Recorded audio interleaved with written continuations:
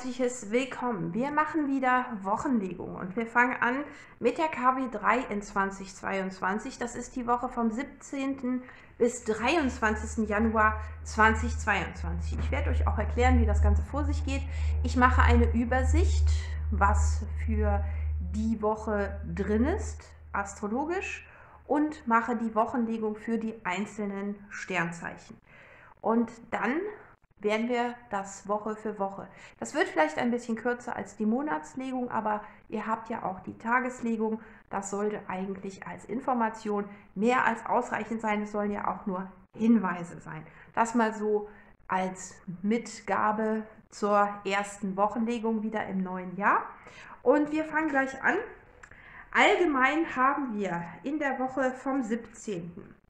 Äh, weiterhin das Sonnenzeichen Steinbock die einzelnen Mondkonstellationen bekommt ihr ja in den Tageslegungen. Was haben wir noch Wichtiges, worauf wir allgemein erstmal hinweisen wollen? Wir haben Vollmond im Krebs am 18. Das ist sehr schön für Familie, für den engeren Kreis. Und auch wird Uranus wieder vorläufig. Das wird den einen freuen, den anderen wird es gruseln, weil es eben um Veränderung geht. Uranus ist ja der große Veränderer, Neuerungen. Und ähm, die Sonne wechselt dann am 20. auch in den Wassermann, aus dem Steinbock in den Wassermann. Das bedeutet eine freiheitsliebende Energie und Uranus ist ja auch der Zeichenherrscher vom Wassermann. Und ähm, wir haben ja inzwischen auch Merkur rückläufig. Das macht es nicht leichter, ja.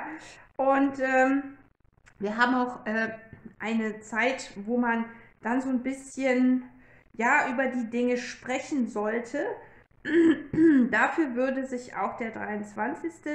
gut eignen und äh, Venus und Uranus sorgen bis Anfang Februar dann auch dafür, dass man sich zugeneigt ist, was ja auch schön ist. Aber man sollte natürlich nicht so hastig in irgendwas hineinstolpern.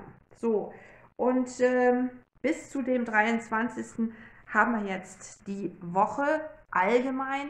Wir schauen uns jetzt an, was in den einzelnen Sternzeichen los ist, ganz kurz astrologisch angerissen und dann machen wir für jedes Sternzeichen die Wochenlegung. Ich wünsche euch viel Spaß, eine schöne Woche und bis gleich.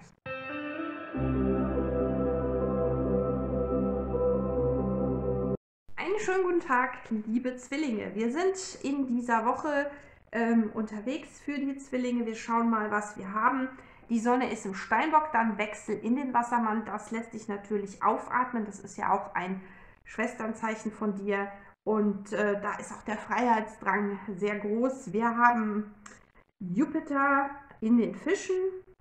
Und das kann dazu führen, dass du das ein oder andere Mal ein bisschen über ja, ich sag mal, übertreiben könntest in deinen Ideen oder in deinen, ja, ich sag mal, Vorstellungen, die du von dir und den Entwicklungen hast. Bleib auf dem Teppich, das ist wichtig. Wir haben ja sowieso jetzt Merkur rückläufig. Das ist für alle nicht leicht und deswegen sollte man da sehr tief durchatmen. Saturn im Wassermann, ähm, ja, das äh, gilt auch eigentlich ähm, als Bremse normalerweise aber es sorgt auch dafür, dass du dabei bleibst bei dem, was sich dir offenbart. Und ähm, Uranus hat keine Auswirkungen, das heißt, du wirst nicht so stark zerrieben zwischen dem großen Veränderer und dem, also Uranus und dem traditionellen Saturn. Das ist gut. Neptun, ja, gibt dir halt ein paar Flausen in den Kopf und lässt dich mal übertreiben. Und da muss man aufpassen. Auch Pluto im Steinbock ähm, kann dich nicht, ähm, ich sage jetzt mal, in den Vordergrund drücken. Allerdings haben wir in Konjunktionen später immer mal wieder mit Pluto und so weiter zu tun, aber ansonsten hat er keine großen Auswirkungen. Mars im Schützen, ähm, das ist ein guter Start gewesen oder ist auch noch ein guter Start. Ähm, ja, bleib aber auf dem Teppich, das ist ganz wichtig. Venus ist im äh, Steinbock rückläufig bis zum 29. Da passiert auch nicht so wirklich viel. Aber ich denke, dass du später von diesen Energien noch profitieren wirst und natürlich der rückläufige Merkur tut sein Übriges, dass das Ganze verlangsamt wird in dieser Woche. Ähm, ja, und wir haben wahrscheinlich für alle Sternzeichen, wenn ich das so sehe, erstmal wieder nach dieser Woche einen, ich sag mal, bewegenderen äh, Moment, äh, wenn dann irgendwelche Ideen aufkommen. Aber das schauen wir uns dann in der nächsten Woche an. Heute hier etwas kürzer, weil es gibt nicht so viel zu berichten. Und wir schauen uns das einfach mal in den Karten für diese Woche an. Bis gleich.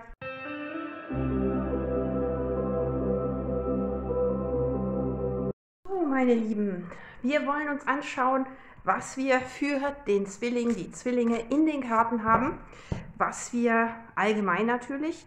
Entscheiden sollst du, was du mit diesen Informationen für dich anfängst, wie du das umsetzt. Es soll dich inspirieren, es soll dir ein paar Ideen geben, was man tun kann. Wir haben ja astrologisch schon gehört, wir haben Merkur rückläufig. Da ist das ein oder andere schon mal ein bisschen schwieriger oder verlangsamt. Welche Energie haben wir für den Zwilling für diese Woche? Die Neun der Erde. Die Neun der Erde oder Neun der Münzen ist das eigene Individuum. Wie du damit umgehst, du sollst dich auf dich konzentrieren. Fokussiere dich auf deine Bedürfnisse, da wie es dir geht, was du möchtest, was du vorhast, wie du das umsetzt, ja. Das eigenständige Individuum. Du hast schon einiges erreicht und natürlich planen, wie es weitergehen soll. Bei der Rückläufigkeit des Merkur kann man natürlich besser planen als umsetzen. Wie siehst du dich? König der Erde. Da ist eine sehr pragmatische Energie drin, durchaus. Und die ist auch gut so, denn du schaust dir an, was habe ich, wie kann ich das bewahren, also dass es nicht verloren geht, wie kann ich das vielleicht auch ausbauen, wie kann ich das verbessern, vergrößern. Dein Wunsch, die Versuchung, hm, ein bisschen Leichtigkeit reinzubringen, ein bisschen genießen vielleicht auch möglich. Ja, warum nicht? Man kann die Zeit nutzen, sich auch zu regenerieren, sich was Gutes zu tun. Hoffnung und Ängste, sieben des Feuers. Die sieben des Feuers oder sieben der Stäbe ist äh, für seine Belange einzustehen. Das tust du sicherlich. Aber ich habe hier den Eindruck, es geht darum zu schauen, ob das die richtigen Belange sind, ob das eben der richtige Weg ist. Du kannst ja Unterstützung anfordern, sozusagen. Was ist gut für dich? Der Eremit. Eine schöne Energie, das ist die Jungfrau-Energie. Der Eremit ist in sich gehen, die Schlüssel suchen, die Wege, ne? die, die Hinweise, was ist für mich das Richtige? Was bringt mich weiter? Welche Talente habe ich? Welche Fähigkeiten und welche Möglichkeiten ergeben sich daraus? Nicht gut, die Sechs der Erde, ausgewogenes Geben und Nehmen. Das kann bedeuten, dass entweder äh, du halt vielleicht nicht die Möglichkeit hast, ausgewogen fair mit anderen umzugehen. Es kann aber auch umgekehrt bedeuten, dass du vielleicht nicht das zurückbekommst, was du dir erwartest. Ausgang ist die 5 der Erde, der Rückzug. Das muss nicht schlecht sein. Es kann sein, dass man sich von einer schlechten Angewohnheit verabschiedet oder dass man vielleicht ein bisschen kürzer tritt oder dass man einfach auch mal ein bisschen Ruhe findet. Das ist für Zwillinge sicherlich ungewöhnlich, aber hm, es ist oft so, dass man eben in der Stille und im Meditieren meinetwegen oder wenn man Urlaub hat oder Ruhe hat, die besten Ideen bekommt. So aus dem Nichts heraus gefühlt. Schauen wir uns an, was haben wir denn mit der Energie von außen? Was kommt da auf die Zwillinge in dieser Woche zu? Was kannst du da erwarten? Den Neuanfang, den Narren, unbelastet und frei. Das ist eine schöne Energie, aber bei Merkur rückläufig mit Vorsicht zu genießen. Okay, was haben wir in dieser Woche? Wir haben den Fokus. Der Fokus liegt auf der Erhaltung und Bewahrung dessen, was dir persönlich wichtig ist. Das ist eine sehr schöne Energie. Da bist du mit Leidenschaft dabei, da arbeitest du dran. Die vage Energie, Ausgewogenheit zu schaffen, ich denke zwischen dem, was an Arbeit notwendig ist und dem, was eben auch an Ausgleich notwendig ist. Mit der Versuchung brauchst du vielleicht auch mal Abstand zu gewissen Dingen. Wir haben die neuen der Stäbe. Da ist die Karte des Burnout. Ja, die Karte, dass man die Energien nicht richtig einsetzt oder dass man sich für etwas zu stark einsetzt, was einem nicht so wirklich was bringt. Deswegen in Hoffnung und Ängste auch die sieben der Stäbe. Du bist dir nicht ganz sicher, ob das Ziel wirklich das Ziel ist, was du erreichen solltest. Dann haben wir die Liebenden. Es gilt auch für dich mit der Karte des Eremiten in dich zu gehen. Was liebe ich wirklich? Was ist für mich Erfüllung? Was brauche ich, um glücklich zu sein? Und wo entscheide ich mich eben auch dafür, was mich auch letztendlich zufriedenstellt? Wir haben den Ritter der Kelche, liebevolle Energie. Das ist vielleicht auch das, dein Enthusiasmus, die Freude, die du an etwas hast. Ne? Das ist ja auch schön, aber es wird vielleicht nicht so beantwortet. Wir haben die fünf der Münzen hier. Dann ziehst du dich vielleicht zurück, vielleicht gekränkt, vielleicht ein bisschen, naja, enttäuscht oder äh, ich sage jetzt mal, es hat nicht auf Anhieb geklappt, sagen wir es mal so. Und wir haben den Gehängten. Du versuchst herauszufinden, woran das liegt. Oder du überlegst, was zu tun ist, um die Situation vielleicht noch ein bisschen umzuwandeln. Das ist keine schlechte äh, Idee, aber letztendlich musst du das eben auch so sehen, dass manchmal der Zeitpunkt nicht der richtige ist, dass vielleicht die Menschen, hm, an die du dich da wendest, nicht die richtigen sind. Und ähm, da gibt es ein paar Überlegungen, die du anstellen könntest. Schauen wir uns jetzt erstmal an. Der König der Erde. Gerechtigkeit, Ausgewogenheit, und die Arbeit. Also es geht um den Job, um das, wo du eben, ich sag mal, beides findest. Die Versuchung, also den Spaß und auch, ich sag jetzt mal, das, was du tun musst. Versuchen ist ja dein Wunsch, du bist zurückhaltend und zehn der Schwerter.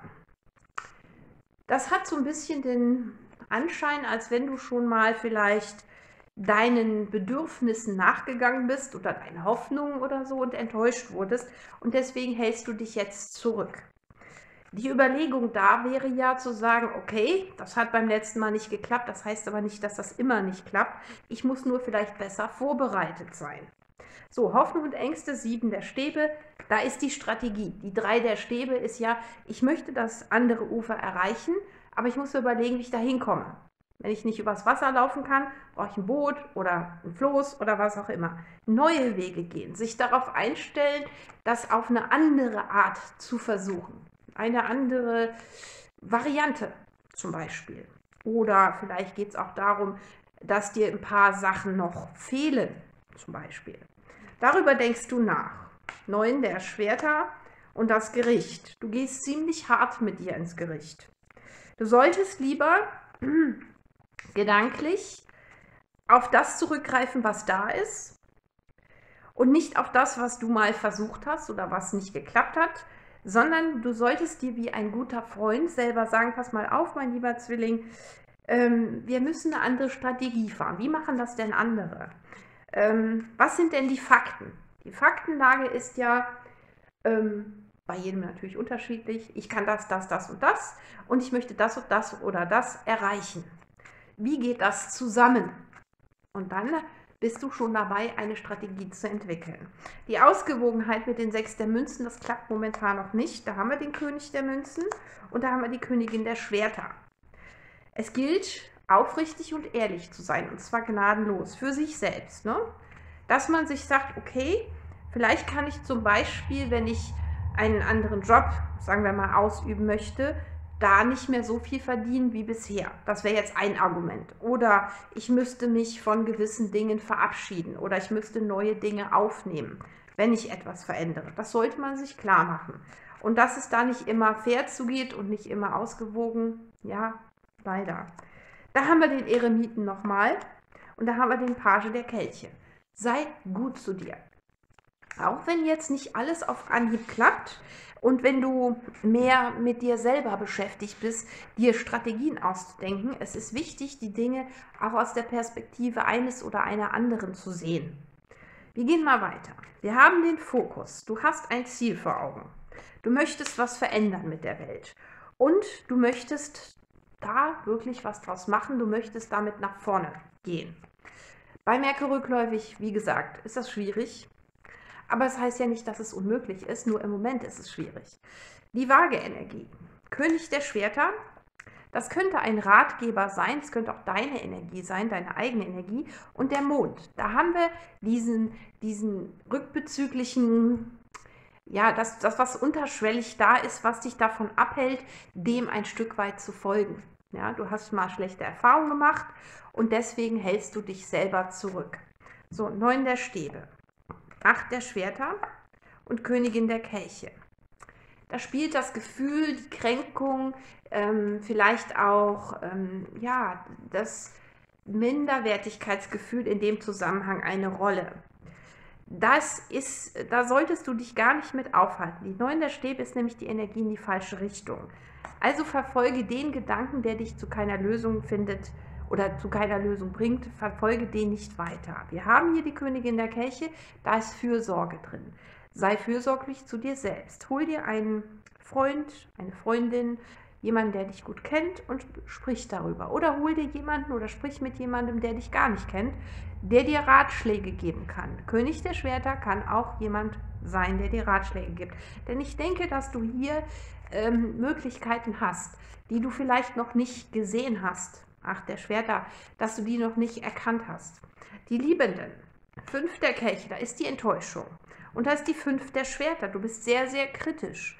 Und vielleicht geht es auch darum, dass dich jemand in der Vergangenheit enttäuscht hat. Im Job zum Beispiel. Oder du hast was mit jemandem versucht aufzubauen. Ähm, oder auch eine Partnerschaft natürlich. Aber wir sind jetzt bei der Allgemeinlegung. Deswegen kann ich mich da jetzt nicht festlegen. Ähm, ich denke mal, es geht darum, die ähm, Traurigkeit und das Ganze ein Stück weit zu akzeptieren. Ja, zu sagen, okay, das hat da nicht geklappt, aber Niederlagen sind dazu da, über sich hinauszuwachsen. Ritter der Kelche, Herrscherin und Mäßigkeit. Sobald du an dem Punkt bist, wo dein Intellekt und dein Gefühl wieder eine Einheit bilden und sagen, okay, dann müssen wir uns eine andere Strategie aussuchen, dann müssen wir irgendwo mit dieser schönen Energie der, des Optimismus, der Freude an etwas herangehen. Fünf der Münzen, sieben der Münzen, Kleinigkeiten, Details sind wichtig. Nochmal die fünf der Münzen. Also, es hat was damit zu tun, dass du dich ungerne mit Details beschäftigst, ja.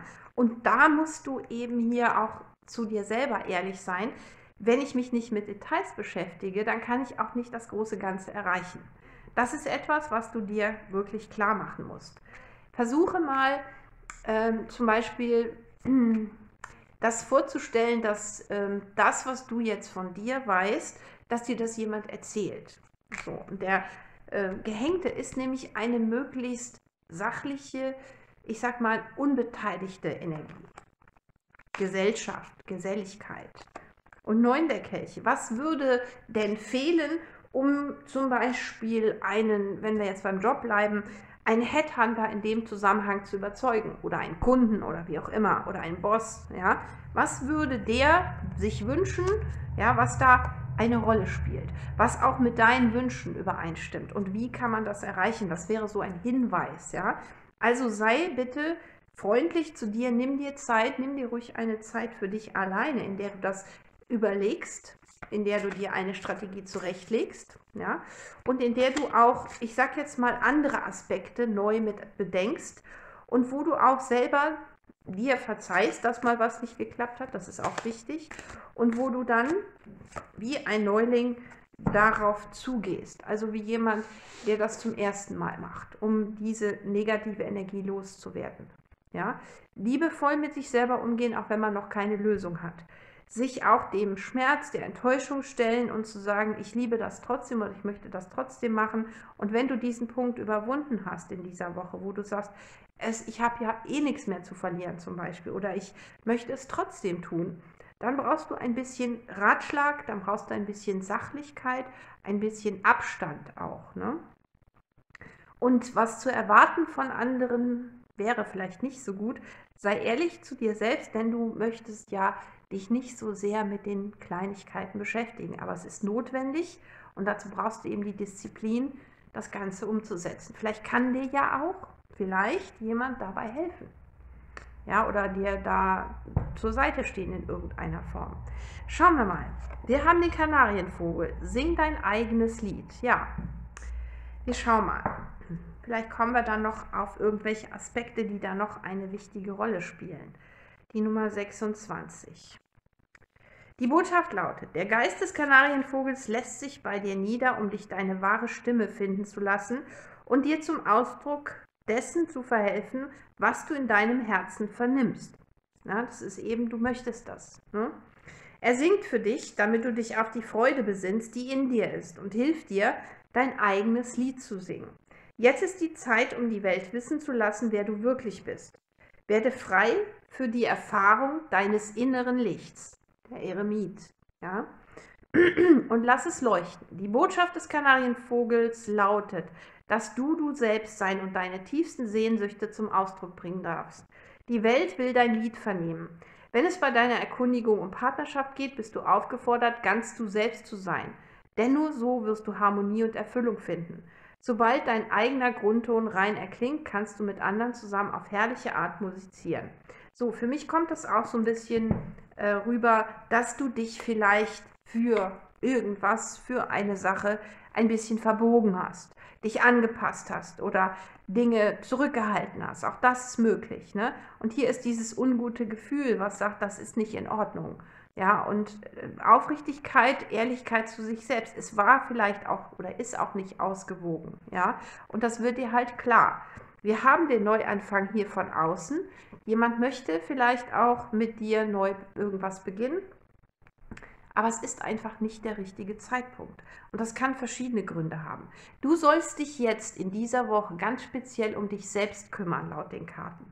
Wir haben mehrfach den Eremiten, wir haben, dass du die, die Realität also auch erkennen sollst und dir trotzdem selber treu bleiben sollst. Wir haben hier die Wunscherfüllung. Das bedeutet, betrachte die Sache mal als unbeteiligter Zuschauer und schau dir an, wie Geselligkeit oder Gesellschaft darauf reagiert und wie du das in Einklang bringen kannst mit dem, was du innerlich fühlst und was du vielleicht hier ein Stück weit verleugnet hast. Ja? Es gilt, diese vage Energie der Gerechtigkeit wiederherzustellen. Das ist natürlich keine Sache, dass vielleicht das jetzt mal eben schnell gemacht wird und dann bist du da, wo du hin willst, sondern es ist eine lange, langwierigere Sache. Und du hast hier Unterstützung. Du hast hier Möglichkeiten, Freunde, Bekannte, Familie. Ja, und es gilt da wirklich, der Sache auf den Grund zu gehen und sich um Details zu kümmern. Auch wenn du das ungerne machen möchtest. Ja, es würde sich auf jeden Fall lohnen. Jetzt, wo Merkur rückläufig ist, kannst du eh nicht viel reißen. Und in der Zeit kannst du möglicherweise deinem Ziel und dem, was du wirklich erreichen willst, erstmal von innen heraus ein Stück näher kommen. Auch die Dinge aufarbeiten, die vorher vielleicht nicht so gut geklappt haben. Die Fürsorge kann dafür sorgen, dass du auf Ideen kommst, auf die du alleine nicht gekommen wärst. Es kann auch sein, dass du über Nachrichten oder ich sage jetzt mal Informationen irgendwo auch äh, dahin kommst, äh, was zu entdecken für dich was dir in dieser Situation weiterhilft. Deswegen würde ich mich ein bisschen mehr nach innen richten, für mich alleine. Vielleicht auch ein paar Notizen machen, Pläne machen oder Vorhaben irgendwo aufschreiben, wie ich das machen kann. Und dann mal schauen, welche Möglichkeiten sich bieten. Dazu kannst du Leute befragen, die dich gut kennen oder Leute befragen, die du nicht gut kennst. Also ähm, auch zum Beispiel irgendwelche Fachleute. Einfach mal so Informationen heranholen. Das kann auch das Internet sein zum Beispiel. Ne? Also wir haben ja hier, dass du da mega enttäuscht bist und deswegen da auch gar nicht mehr ran möchtest. Ne? Aber es ist wichtig, das aufzuarbeiten mit neuen Gefühlen, mit den acht der Kelche. Du hast ja die Fähigkeit, das zu überwinden. Und das gilt es erstmal zu erledigen, bevor du dann hier rangehen kannst und die Sache neu ja, starten kannst. Denn auch Merkur rückläufig, da kann man alte Projekte wieder aufleben lassen, Streitigkeiten bereinigen. Ne? Das wäre so eine Maßnahme. Und wir haben ja dann auch ab 20. die Sonne im Wassermann. Das ist auch nochmal Unterstützung, das ist Gemeinschaft. Und mit dieser Gemeinschaft kannst du vielleicht dem einen oder anderen ein Stück weit näher kommen. Ich würde es auf jeden Fall probieren. Ja, mein Lieber, Zwilling. Wir werden sehen, wie das für dich passt. Ich würde mich über Rückmeldungen freuen in den Kommentaren. Wenn du das mitnehmen konntest und dir das gefallen hat, dann lass gern ein Däumchen hoch da und dann sehen wir uns, wenn du magst, in der nächsten Wochenlegung wieder. Alles Liebe, viel Erfolg und bis bald.